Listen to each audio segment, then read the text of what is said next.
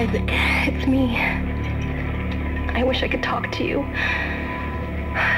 I'm sorry. I'm sorry about everything. I wish I could just talk to someone. It's all falling apart here. I can't believe what's happening. How many times you watched that thing? Guess you really miss her. Don't worry, we're almost there. You'll be able to look her up once we're on board. Sounds like you do have a lot of catching up to do.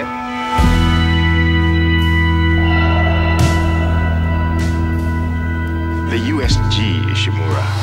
Biggest planet cracker in her class. Why is it all dark? I don't see any running lights.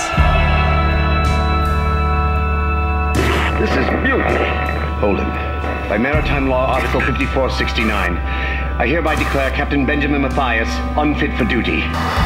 The mark must be delivered to the church. I'm sorry, Ben, but I can't let you do this. USG Ishimura, this is the emergency maintenance team of the USG Kellion responding to your distress call. Come in, Ishimura. Never heard of a total communications blackout on one of these things. You'd think with a thousand people on board, someone would pick up the phone. We need more help. We don't have the resources to deal with this many cases. Nobody would tell us what's happening. There should be a security detail in here.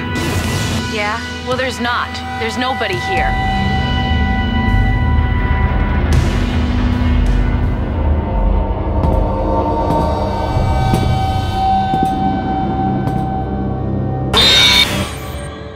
Isaac, where are you? Help me.